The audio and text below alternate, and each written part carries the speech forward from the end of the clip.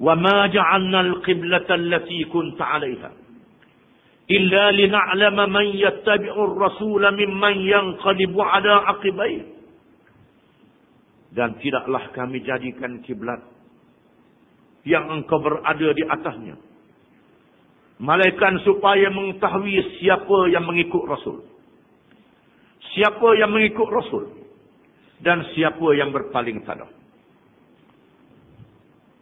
Allah Ta'ala jadikan kiblat yang berlaku ini sebagai ujian kepada manusia. Sebagai cobaan. Sebagai ujian kepada manusia. Adakah mereka benar-benar mengikut Nabi-Nabi dan Rasul-Rasul yang diutuskan oleh Allah Ta'ala. Yang pertama, Nabi kita mengadak ke Sakhrah Baitul Maqdis. Supaya mereka tengok bahawa terdapat kesatuan agama di antara Nabi Muhammad SAW dengan Nabi-Nabi di zaman dahulu. Adapun kita umat Islam dibuktikan oleh Al-Quran Al-Karim.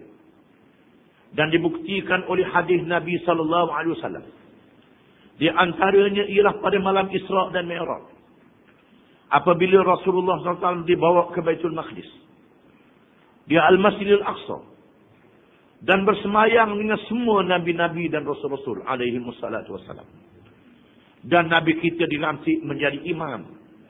Memimpin sembahyang nabi-nabi dan rasul-rasul alaihi wassalatu wassalam pada malam Isra dan Mi'raj. Cukup bukti ini bagi orang kafir, terutamanya golongan ahli kitab untuk masuk Islam. Untuk mengikut Nabi Muhammad sallallahu alaihi wasallam kerana kesatuan dasar dan matlamat.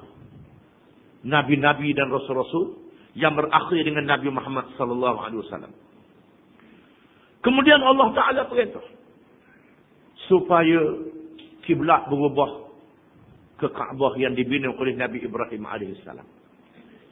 Perintah ini menguji dan mencuba bahawa Muhammad adalah sebenarnya rasul. Muhammad tak reka sendiri. Muhammad menerima wahyu daripada Allah Subhanahu wa taala. Bila mari wahyu suruh ubah maka ubah. Dan orang Yahudi Kristian pun tahu Kaabah dibina oleh Nabi Ibrahim. Ibrahim adalah toki mereka. Toki Nabi Isa, toki Nabi Nabi Musa. Toki kepada Nabi-Nabi dan Rasul-Rasul alaihi wasallam. Mereka mengaku mereka adalah anak cucu Ibrahim.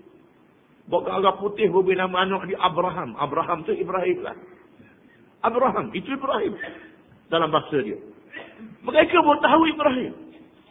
Dan mereka tahu dalam perkara ini.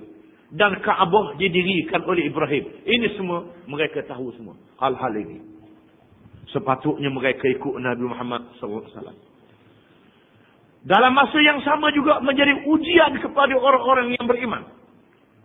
Adakah mereka sebenarnya beriman kepada Muhammad sallallahu alaihi wasallam sebagai nabi dan rasul dengan cara Islam dengan cara menyerah diri kepada Allah menyerah diri kepada ajaran yang dibawa oleh Nabi Muhammad sallallahu alaihi wasallam